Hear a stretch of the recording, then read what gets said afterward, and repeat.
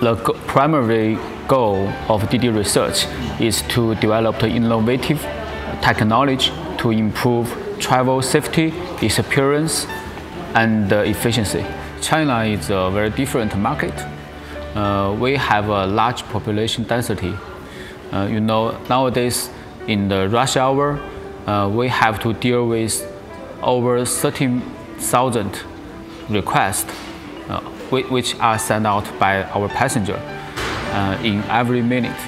And uh, every driver tell the platform their location, their current speed in every three seconds.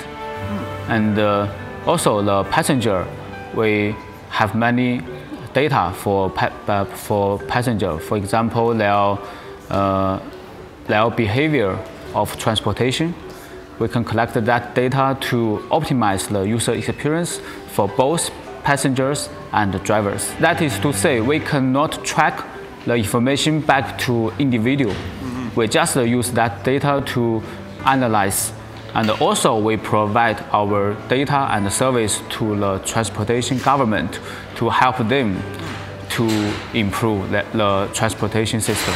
In my perspective, Didi will play a very important role in the future self-driving car industry. Uh, we, we collect a huge data this data can accelerate the technology of self-driving car.